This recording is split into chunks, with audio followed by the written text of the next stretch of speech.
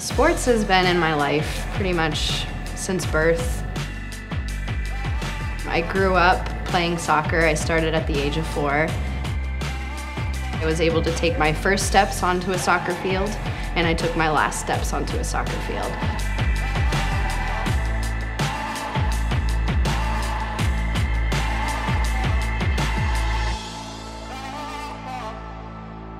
I got recruited to play soccer at Metro State College of Denver back in 2008.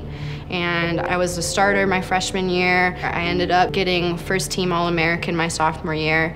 And we had a game one night, and I woke up that morning and my legs had felt numb and tingly. But I figured, oh, you know, we just finished two a days.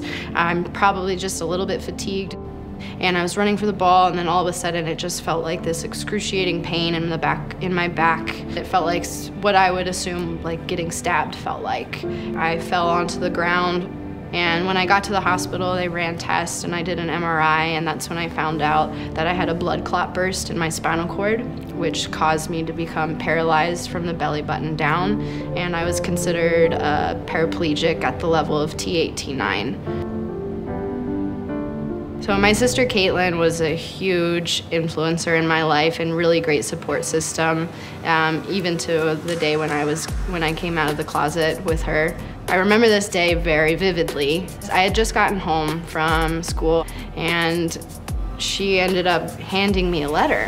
And I opened it up and I started reading it and instantly, before I even got all the way through it, I was like, wait, my sister's a lesbian too. She's coming out to me before I even have to say anything. This is crazy, this is incredible. And I started tearing up because of pure just joy and excitement. But I remember once I started crying, she looked at me and started getting really nervous because she thought, oh, these are tears of like disappointment, like what's going on? And then I turned to her and I we locked eyes and I was like, I'm gay too.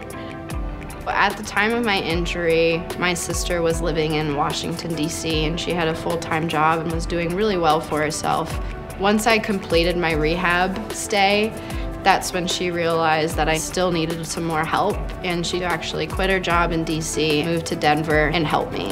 And the fact that she was so willing to do that was, I guess, in a way, like such a humbling experience to see how much love and support I had from her. I remember my first practice, my sister was gonna join me because I was nervous, I didn't know what to expect. And I remember telling my sister like, it's wheelchair basketball, like this is gonna be ridiculous. I don't even wanna do this. We got there and I remember rolling into the gym and the first thing I see is somebody just get flipped out of their wheelchair and fall to the ground.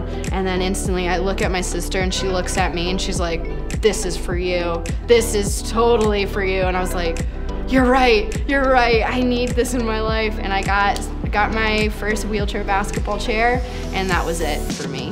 That was it, game over. My identity of an athlete had, had arrived.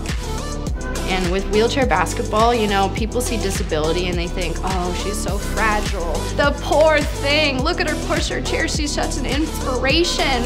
So it's really frustrating that I have such a strong, like, relationship with being a lesbian and being proud, but it's sometimes kind of hidden because of the disability and pushed aside, even though I want that to be out. I want to be proud. But it's so hard when everybody just sees the chair. Yes, I am disabled. Yes, I am a lesbian, but I can still compete and be successful in society regardless of what other people have thought in regards to LGBT community.